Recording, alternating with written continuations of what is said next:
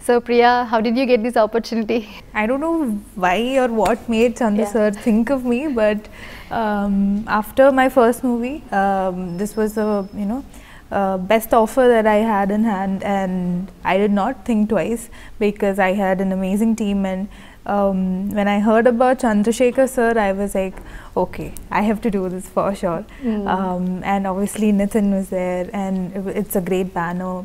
So I could not have asked for a better launch in Telugu. So yeah, initially I was a little nervous because it was Chandu sir, but then later on we all got very comfortable and you know he helped me out. నేర్చుకున్నారా తెలుగు మరి Konjam konjam.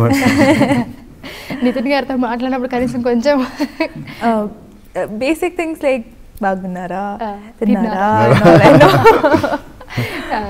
Nitin is Abhinav Gomatam. Hello, Nenu Avantika Mishra. Hello, this is Tarun Baska. Please subscribe to TV5 Tollywood. Please uh, subscribe to TV5 Tollywood. Please subscribe to TV5 Tollywood.